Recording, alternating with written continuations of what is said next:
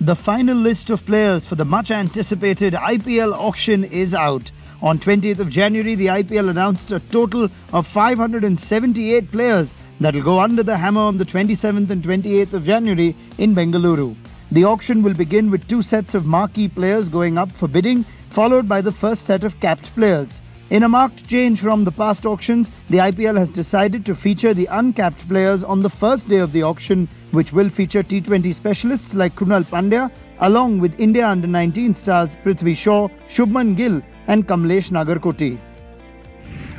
The two sets of marquee players with which the IPL auction will begin on the 27th of January in Bangalore comprises of 16 players in all.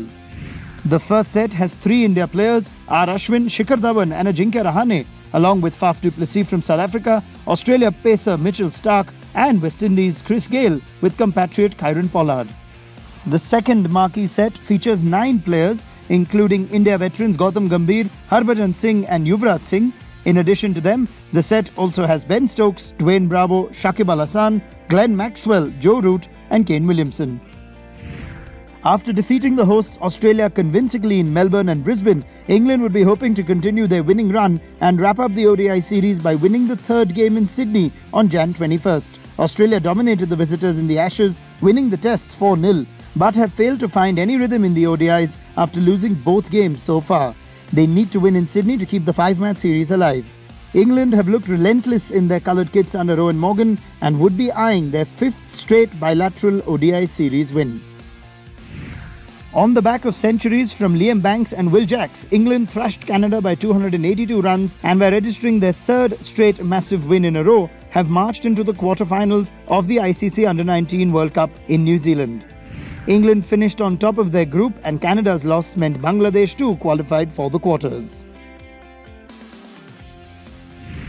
Zimbabwe left-arm seamer Brian Vitori has been allowed to bowl in international cricket after his bowling action was found legal post a remedial work and reassessment. Vitori was originally suspended from bowling in Jan 2016, but after resuming in June, was reported again in the ODI against Sri Lanka at Bulawayo, which led to a 12-month suspension in December 2016. The umpires are still at liberty to report the 27-year-old if they believe he is displaying a suspect action. However, since Vitori has cleared an independent assessment after serving the ban, if he is reported again, it will be deemed as his first offence.